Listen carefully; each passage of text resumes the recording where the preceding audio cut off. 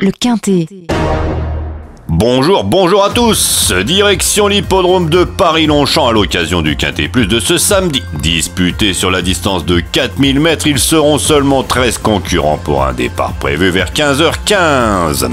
En tête de notre sélection, le 7 Stradivarius. Si la piste ne s'assouplit pas trop, il doit l'emporter suivi du 13, Bubble Smart, aux limites encore inconnues, sa place est sur le podium, la Stratum sur la montante actuellement, le 6 Casino toujours ou presque dans la bonne combinaison depuis ses débuts en compétition, et enfin le 11 Memphis a repris de la fraîcheur en vue de cette épreuve, il complétera notre sélection.